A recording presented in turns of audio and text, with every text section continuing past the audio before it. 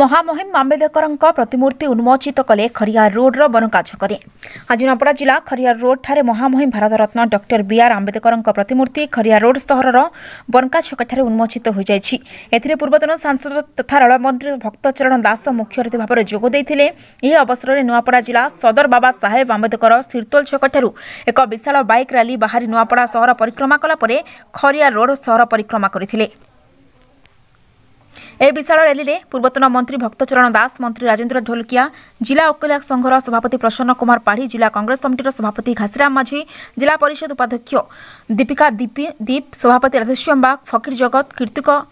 দীপ রবির বাগ রবি মঙ্গলাজ গোপী সুনা হরিকেশ চল প্রমুখ উপস্থিত রয়েছে